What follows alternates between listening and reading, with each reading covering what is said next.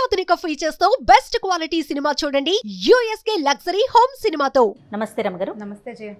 రమగారు కార్తీక మాసంలో పౌర్ణమి తరువాత. జ్వాలా తోరణం అని చెప్పి నదిలో దీపాలను వదులుతూ ఉంటాం. కొంతమంది పౌర్ణమి రోజే చేసేస్తారు కదా రమగారు. కొంతమంది పౌర్ణమి తరువాత చేస్తారు కదా?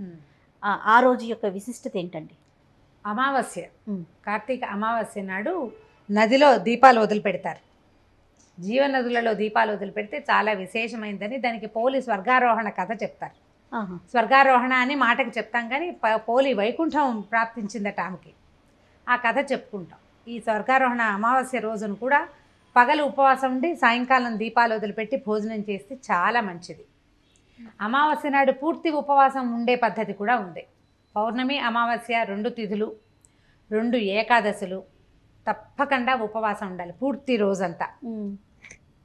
పౌర్ణమి నాడు రోజంతా ఉపవాసం ఉండి పాడ్యమి నాడు భోజనం చేయటం అమావాస్య నాడు కూడా పూర్తి ఉపవాసం ఉండి మార్గశిర శుద్ధ పాడ్యమి నాడు భోజనం చేయటం ఈ వ్రతాన్ని ముగించటం అన్నమాట ఓ. నిజానికి కార్తీక పురాణంలో ఎట్లా చెప్తారంటే ఆశ్వీజ పౌర్ణమికి ఇంచుమించుగా దానికి కొంచెం ముందు నుంచి ఈ కార్తీక పౌర్ణమి దాకా పౌర్ణ ఈ వ్రతం అని కార్తీక వ్రతము అని. పౌర్ణమి నుంచి పౌర్ణమి దాకా ఆ పౌర్ణమి కూడా ఆశ్వీజ శుద్ధంలో దశమి వెళ్ళిన తర్వాత ఏకాదశి ద్వాదశి అయిపోయాక ఇంచుమించు త్రయోదశి నుంచి అట్లా మొదలు పెడతారు.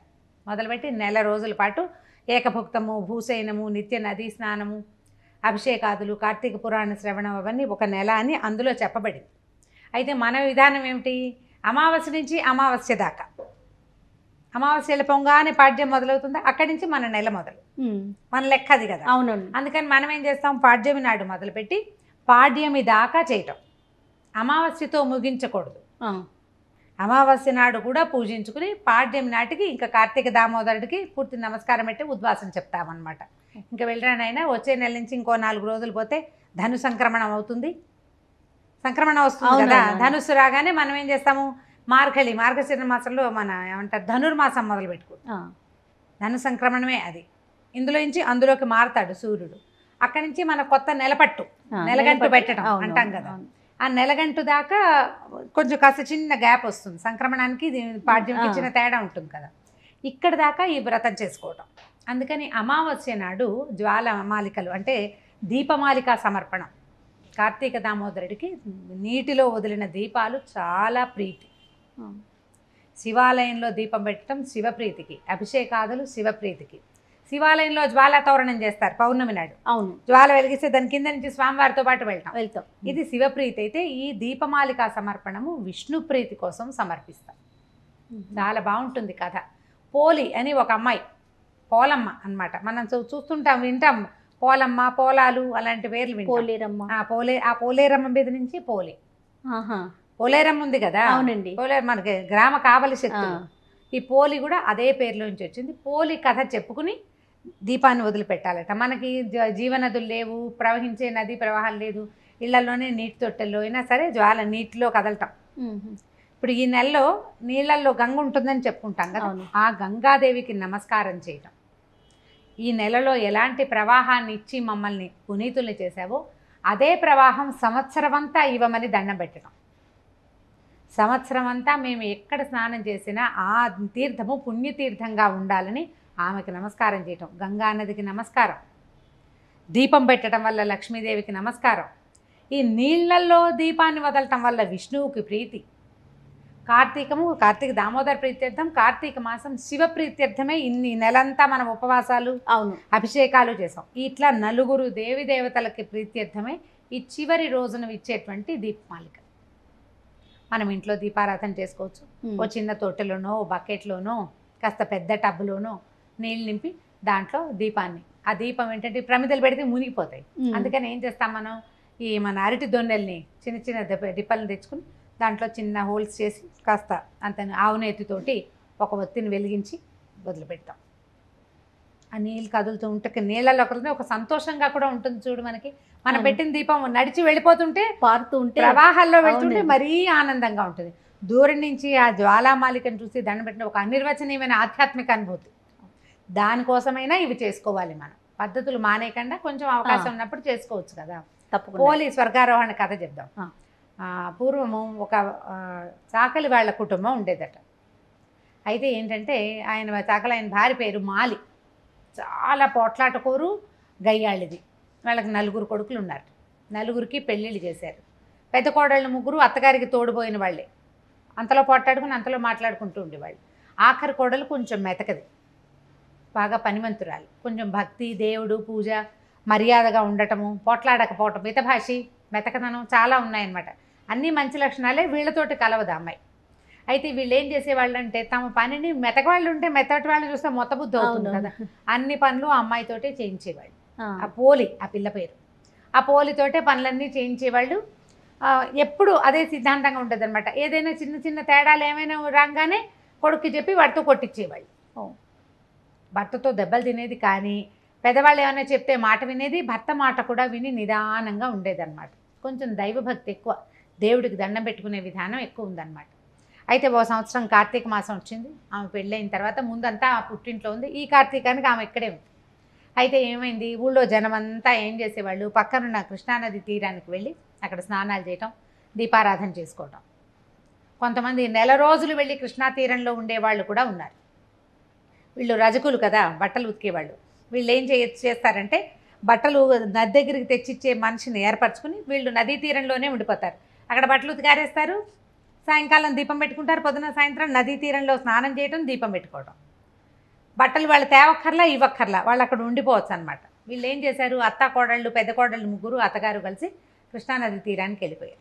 ఈ అమ్మాయికి ఇల్లు అప్పచెప్పారు. ఇంట్లో కాస్త గొడ్లు ఉన్నాయి గొడ్డు గోద నెయ్యి వెన్న మిగడ పాలు చెయ్యాలి కదా. గొడ్లు ఉన్నాయంటే పని చెయ్యాలి ఈ అమ్మాయికి పని అప్పచెప్పారు. నదీ తీరానికి వెళ్ళే అవకాశం అమ్మాయికి రాల. అప్పట్లో ఇప్పట్లాగా ఏదో ఒక చెరువులో స్నానం చేస్తే సరిపోతుందని అని భావించే రోజులు కావు. నది నియమం. ఇప్పుడు మనం వంద చెప్పుకుంటున్నాం దానికి. అమెండ్మెంట్లు. అప్పుడు ఆ కాలం అమెండ్మెంట్ల కాలం కాదు. అందరూ నది స్నానమే చేయాలి. పద్ధతి అంటే పద్ధతి. పద్ధతి. ఈ నదికి ఆసక్తి ఉండి వెళ్ళే వాళ్ళు కొంతమంది ఉంటారు. కొంతమంది ఏమో వీళ్ళు వెళ్తున్నారు కదా మనం వెళ్ళకపోతే బాగోదేమో అని పక్కింటి వాళ్ళు పోతారు కొంతమంది. ఏమిటో చూద్దామని వెళ్ళేవాళ్ళు వెళ్ళిన వాళ్ళందరితో సరదాగా ఉండటం కోసం వెళ్ళేవాళ్ళు. ఎందుకు వెళ్ళినా నదీ స్నానం దాని ఫలితాన్ని అది ఇస్తుంది శరీరానికి రావాల్సింది వస్తుంది దాంతోపాటు ఆత్మకి రావాల్సిన పరిశుద్ధత ఆటోమేటిక్గా వచ్చేస్తుంది. మనం చేయక్కర్లా వాంటెడ్లీ అయితే ఈ అమ్మాయి ఇక్కడే ఉండిపోయింది అయ్యో నదీ స్నానం లేదు ఏమీ లేదు నా జీవితానికని బాధపడుతూ ఉంటుంది అయితే చివరి రోజున ఈ అమావాస్య రోజున వీళ్ళంతా దీపాలు పెట్టేసుకున్నారు. ఊళ్ళో వాళ్ళంతా దీపాలు పెట్టారు. తెల్లవారితే ఇంకొక కొన్ని గంటల్లో పాడ్యమి ఘడియలు వచ్చేస్తాయి. వ్రతం పూర్తవుతుంది అనమాట ఈ అమ్మాయి ఏం చేసిందంటే వెన్న చిలుకుతూ ఏమనుకుంది? దీపం పెట్టేందుకు కూడా నాకు గతి లేకుండా ఉన్నాను నేను. ఈ ఇంట్లో ఏమీ లేవు. ఆ నది దగ్గర ఎవరో బ్రాహ్మలు ఉంటారు దేవాలయం ఒకటి ఉంది అక్కడే పొత్తులు పత్తి ఇవన్నీ వాళ్ళు మేనేజ్ అయిపోయారు. ఈ అమ్మాయికి ఏముంది? అందుకని ఏం చేస్తుంది తన చీర చెంగు నుంచి ఒక నాలుగు దారాలు తీసి దాన్ని ఇట్లా ఒత్తిగా చేసి చేసి వెన్న చిలికేశాక ఆ వెన్నకి కొలత ఈ గిన్నెడు వెన్న రావాలి. అందులోంచి కొంచెం వెన్న తగ్గిన అత్తగారు ఊరుకోదు. కవ్వానికి కొంచెం వెన్న అంటుంటుంది కదా ఆ వెన్న దీనికి ఈ ఒత్తికి రాసి జిడ్డుగా అవుతుంది. అక్కడి నుంచి ఏం చేసిందంటే ఒక ఒక పాత కొబ్బరి పెంకులు కనపడితే రెండు కొబ్బరి పెంకుల్లో ఒకదాని మీద ఒకటి పెట్టి ఈ ఒత్తి పెట్టి వెలిగించింది. నేనేమీ చేయలేకపోయాను. కార్తీకంలో నదీ స్నానం లేదు. ఈ ఇల్లే వైకుంఠం కడిపే కైలాసం ఇల్లే వైకుంఠం. నా పరిస్థితి అదే నాయన నన్ను రక్షించు కాపాడు అని చెప్పి ఆ దీపం పెట్టింది. సరిగ్గా పాడ్యమి ఘడియలు సమీపిస్తుండగా ఆమె పెట్టిన దీపాన్ని భగవంతుడు అందుకున్నాడట. అబ్బా, ఆ, కార్తీక దామోదరుడు. దేవుడికి ఏం కావాలి? దీపం కావాలా? భక్తి. ఆ లోపల ఉన్న. శ్రద్ధ కావాలి. ఈ కా దీని దగ్గర ఉన్న కృష్ణానది తీరంలో దీపాలు పెడుతున్న వాళ్ళంతా రకరకాల ఆలోచనలతో పెడతారు. వాళ్ళకంటే పెద్దది పెట్టామా లేదా?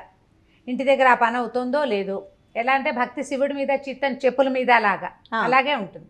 కానీ ఈ పెడుతున్న దీపం త్రికరణ శుద్ధిగా మనోవాక్కాయ కర్మలతోటి దీపాన్ని పెట్టేవాళ్ళు పూజ చేసేవాళ్ళు చాలా తక్కువ ఉంటారు. మేము చేస్తున్నాం మాకు ఫలితం లభించట్లేదని భావిస్తాం మనం. కానీ మనం పెట్టవలసిన పూర్తి స్థాయి శ్రద్ధ దాని మీద పెట్టం మనం. పెట్టలేకపోవటం కూడా మన కర్మానుభవం అనుకో. ఈ అమ్మాయి కర్మానుభవం దానికి అంగీకరించింది. మంచి శ్రద్ధతోటి పెట్టింది.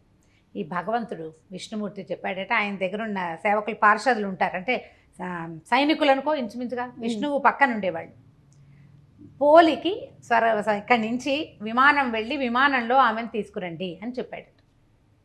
అయితే ఈ పాడ్యమి నాడు దీపం పెట్టింది కాసేపటికల్లా ఆ, వైకుంఠం నుంచి విమానం వచ్చింది. విమానం వచ్చింది. విమానం వచ్చేసరికల్లా ఈ అమ్మాయి ఆశ్చర్యపోయింది.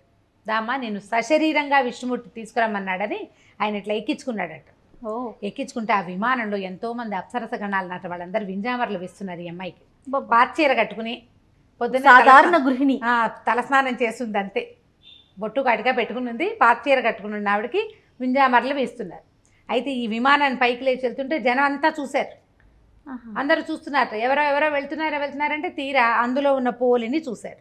ఆవిడ ఇట్లా కాళ్ళు కిందకి వేసుకుని కూర్చుందట. వాళ్ళు పైన కూర్చోమంటే అయ్యో ఇంతమంది ఉంటే పైన కూర్చోవటం ఏమిటి నేనని విమానంలో ఒక కొస కూర్చుని కాళ్ళు కిందకి వెళ్ళాడేసింది ఆ విమానం నదీ వైపుకి వెళ్తోందట వెళ్తుంటే ఈ పోలి అత్తగారు తోడుకోడళ్ళు చూసి అమ్మో ఇది స్వర్గానికి ఎగిరిపోతుంది. మనం వెళ్ళకపోతే ఎట్లా? అని పరిగెత్తుకుంటూ వెళ్ళి ఆ వేళ్ళాడేసి కాళ్ళు వేళ్ళాడేసి కూర్చుందిగా ఆవిడ కాళ్ళు పట్టుకుందట అత్తగారు. అత్తగారి కాళ్ళు పెద్ద కోడలు పెద్ద కోడల కాళ్ళు రెండో కోడలు రెండో కోడల కాళ్ళు మూడో కోడలు పట్టుకున్నారు. తాడులాగా వెళ్తున్నారనమాట అది ఎక్కడికో వెళ్ళిపోతుంది. దీనికోసం విమానం వచ్చేసింది. మేము మాత్రం ఎందుకు వెళ్ళకపోవాలని వాళ్ళు కూడా పరిగెత్తారు. వెళ్ళేసరికల్లా ఈ విష్ణు పార్షదుడు ఎవరైతే ఈ పోలిని తీసుకెళ్ళడానికి వచ్చాడో ఆయన ఈ అమ్మాయిని వాళ్ళు పెట్టిన ఇబ్బందులు. కనీసం ఒక్క పూట కూడా నది స్నానానికి నోచుకోనివ్వకుండా చేసిన వాళ్ళ మనస్తత్వాలు.